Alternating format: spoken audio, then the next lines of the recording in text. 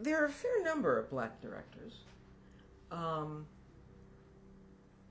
how do you feel about the overall what's going on in terms of the variety, in terms of what black directors are doing, not doing? Any feelings at all about? Nope.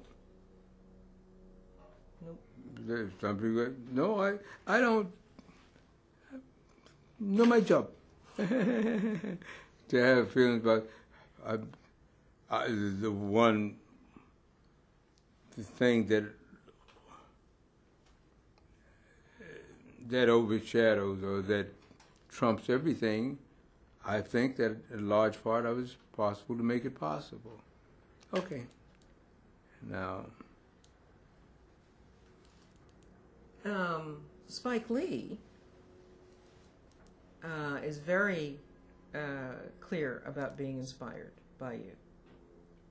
That you have meant a great deal to him um, artistically.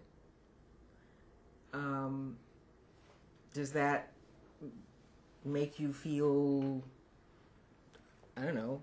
Um, is it a positive feeling to be revered in that? Absolutely. Beat the burnt stick in the eye.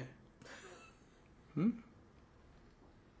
Look, we can go around a little. I'm the Rosa Parks of of the, the industry. Okay, boom, over and out.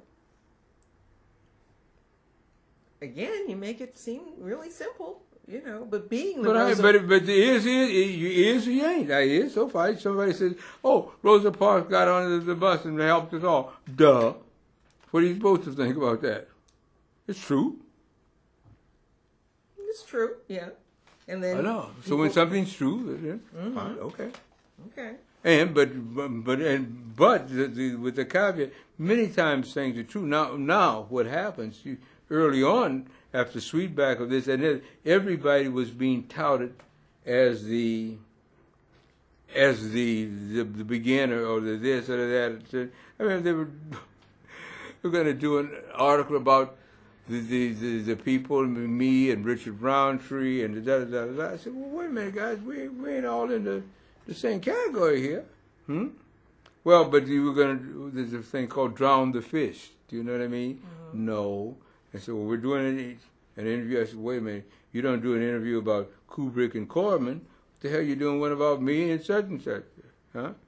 Well, so, no, go ahead and do it without me. okay.